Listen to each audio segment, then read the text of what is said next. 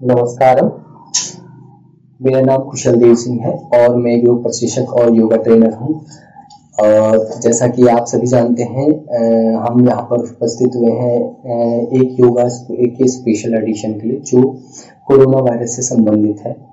और कैसे हम योग अभ्यासों के माध्यम से अपने शरीर को इस वायरस से लड़ने में सक्षम बना सकते हैं और इस वायरस को होने से पहले ही स्तर पर हम उसको पूर्णतः समाप्त कर सकते हैं। इसके लिए आपके जो इम्यूनिटी सिस्टम है, उसको कैसे इंक्रीज किया जाए और आपके डाइजेस्टिव सिस्टम को कैसे स्ट्रॉन्ग किया जाए और जो इस वायरस का जो सबसे ज़्यादा जो प्रभाव है वो आपके रेस्पिरेटरी सिस्टम और आपके किडनी और आपके लीवर पर जो असर करता है योग के इन अभ्यासों के माध्यम से हम इन ऑर्गन्स को कैसे स्ट्रॉन्ग बनाए कि इस रोग से लड़ने में हमारी शरीर की जो प्रतिरोधक क्षमता है, वो बढ़े, हमारी पाचन क्षमता बढ़े और हमारे जितने भी ऑर्गन्स हैं, ये मज़बूत बने। इसलिए योग का जो आज का स्पेशल एडिशन है, इन्हीं अभ्यासों पर आधारित है।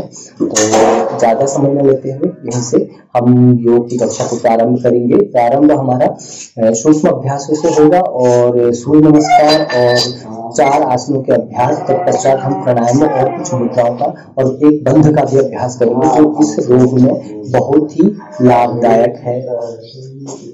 धन्यवाद।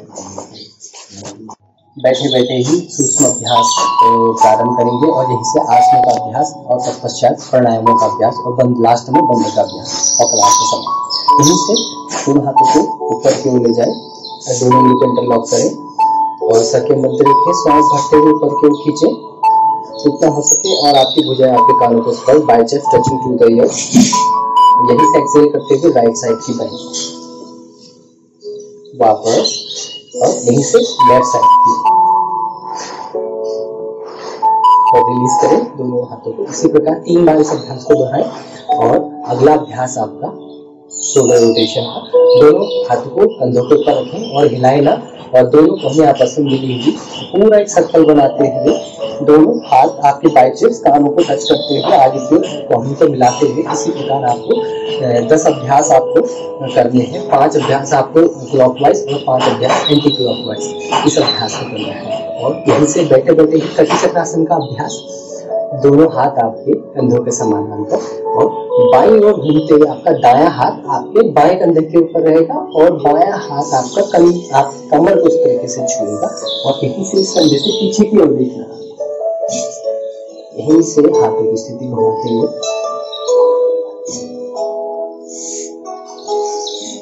इस प्रकार आपको दस राउंड इस अभ्यास को करना है और यहीं से अगला अभ्यास आपका वक्रासन का अभ्यास। दाएँ पैर घुटनों के पास। और इसी पैर का अपोजिट है, इस तरीके से आपको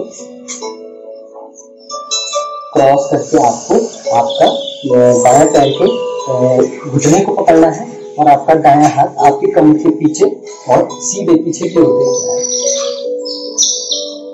और कुछ सेकंड यहाँ पर रोक के रखना है इसको। पंद्रह से बीस सेकंड तक आपको रोकना है।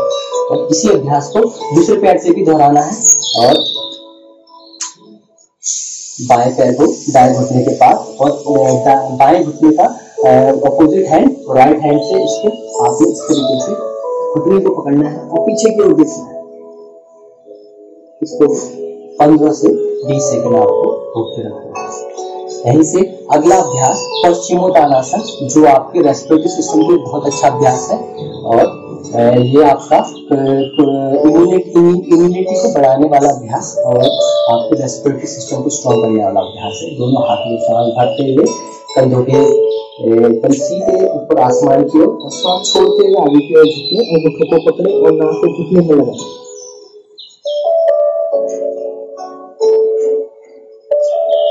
तो पेट 20 से 25 सेकंड आपको इस अभ्यास को यहाँ पर रोक के रखना है और इस अभ्यास को आपने तीन से चार बार आपको दोहराना है। पश्चिमोत्तानासन का अभ्यास इस प्रकार कर।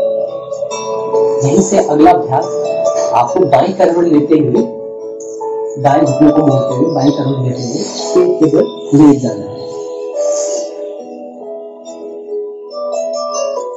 भुजंगासन का अभ्यास, दोनों हथेलियों आपके भुजाओं आपके छाती के, आपके चेस्ट के पास रहेंगी और एल्बो एकदम आपके क्लोजर टू द चेस्ट रहेंगे आपके और यहीं से सांस भरते हुए आपको सिर्फ़ कमर से ऊपर का हिस्सा उठाना है और आगे ऊपर की ओर आसमान को देखना है।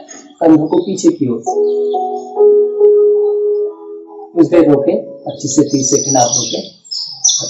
सांस छोड़ते हुए नीचे। इस अभ्यास को तीन बार दोहराएँ और यहीं से हम अगला अभ्यास सलभाषण का करेंगे, जो आपके एब्डोमिन रीजन के लिए बहुत ही अच्छा अभ्यास है। दोनों हथेलियाँ ज़मीन की ओर।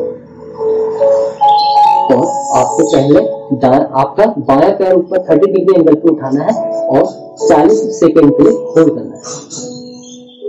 और इसी प्रकार दूसरे पैर को भी आपने 40 सेकेंड के लिए 30 डिग्री एंगल से होल्ड करना है। तत्पश्चात दोनों पैर को मिलाकर 30 डिग्री एंगल पे होल्ड करना है और 40 सेकेंड होल्ड करना है।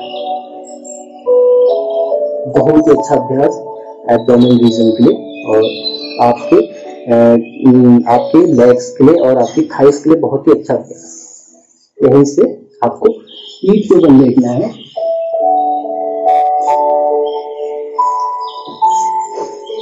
और हलासन का अभ्यास करना है। फ़र्स्ट 30 डिग्री पे एंगल पे उठाना है आपको then 60 and 90 and complete halasana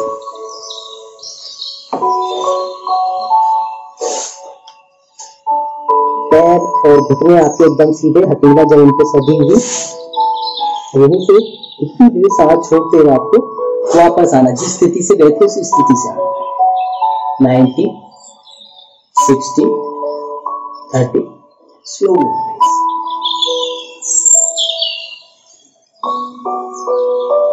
से बाएँ करवट लेते हुए अपने स्थान पर बैठे आगे प्राणायामों का अभ्यास यही से अगला अभ्यास प्राणायामों का अभ्यास। किसी भी ध्यानात्मक आसन में बैठे सरल आसन सुखासन की स्थिति दोनों हाथों की ज्ञान मुद्रा और कमर गर्दन से कंधों को सीधा सरल करते हुए सामान्य श्वास प्रश्वास पहला अभ्यास आस्त्रिका प्राणायाम का होगा और जिसमें हमने श्वासों पूरा अपने रेस्पिरेटरी सिस्टम में पूरा भरना है और पूरा खाली करना है। इस अभ्यास को तीन चरण में करेंगे। पहला अभ्यास सरल गति से दूसरा मध्यम और तीसरा तीव्र गति से।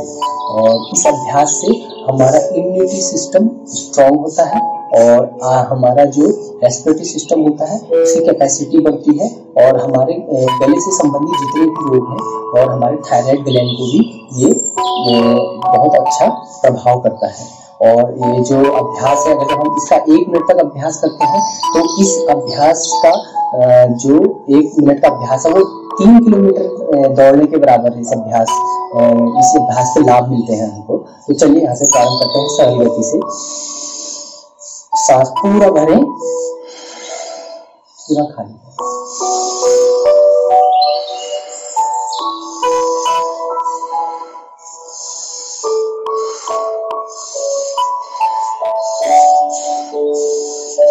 इस अभ्यास को जैसा कि मैंने बताया जो पूर्णतः स्वस्थ नहीं है, जिनको हृदय संबंधी रोग है, और जिनको, जिनका स्टमक का हाल में ऑपरेशन हुआ इस अभ्यास को इसी सामान्य गति से करेंगे और मध्यम गति से इस अभ्यास को करेंगे। किस प्रकार करें, एक बार देख लें।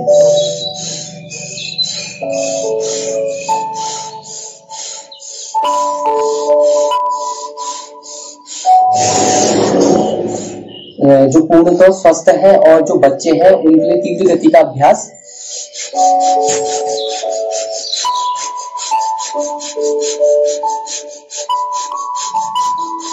इस प्रकार आपको एक मिनट तक इस अभ्यास को करना है। प्रारंभ में आपको। 30 सेकेंड इस अभ्यास को करना है। धीरे धीरे इसको एक मिनट तक अभ्यास को बढ़ाना है। अगला अभ्यास आपका कपाल भाती प्राणायाम का होगा। इस अभ्यास का आपके इंटरनल ऑर्गन पे बहुत ही अच्छा प्रभाव पड़ता है, आपका डाइजेस्टिव सिस्टम हो, या आपका पेनक्रियाज हो, या आपकी किडनी हो, या आपके लंग्स हो, या आपका थायराइड हो, और ये मस्तिष्क के सभी विकारों को दूर करता है। और इस अभ्यास को तीन स्तर में हम इसको तीन स्तर में करेंगे। फ़र्स्ट ट्वेंटी स्ट्रोक्स में सेकेंड थर्टी स्ट्रोक में एंड थर्ड राउंड फोर्टी के स्ट्रोक में हम इसको, इस अभ्यास को करेंगे आइए, चलिए, कैसे करना है?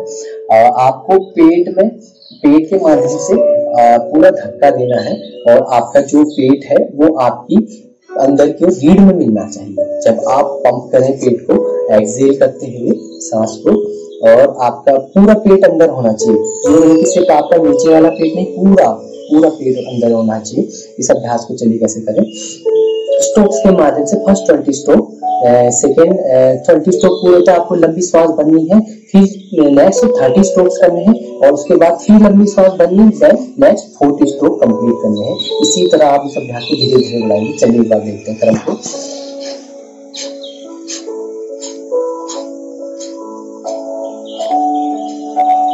इसी तरह से आपको ट्वेंटी स्ट्रोक थर्टी स्ट्रोक और फोर्टी स्ट्रोक करना और अगला अभ्यास है आपका अनुलोम विलोम प्राणायाम का।